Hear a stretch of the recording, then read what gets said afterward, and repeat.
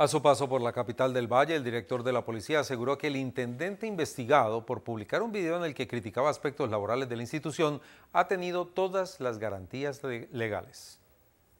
El general Rodolfo Palomino aseguró que el video donde aparece el patrullero Rubén Darío Rosso criticando a la policía no es nada más que la de un agente exigiendo prerrogativas particulares. Es un patrullero que ha estado trabajando en la policía por más de 19 años, durante ese tiempo él ha tenido la oportunidad de concursar en siete oportunidades y no lo ha querido hacer.